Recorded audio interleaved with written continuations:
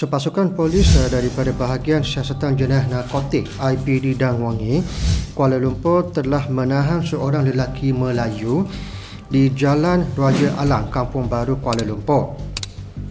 Dan uh, semasa penahanan ini dibuat, pasukan polis juga telah berjaya merampas satu ketulan mampat berisi daun-daun kering yang disyaki dadah jenis ganja yang anggaran beratnya ialah sebanyak 17.6 gram.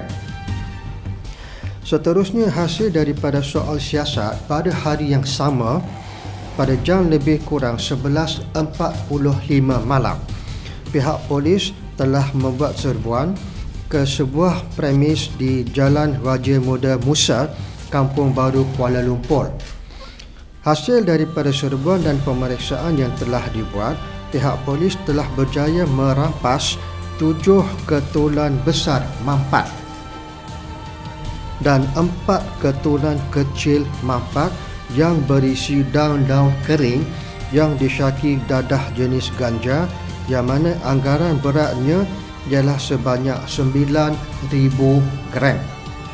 Dan selain daripada itu, turut dirampas ialah 3000 biji pil Aramin 5 yang anggaran beratnya ialah sebanyak 870 gram. Hasil rampasan dadah ini adalah dianggarkan bernilai sebanyak RM67,500 Malaysia.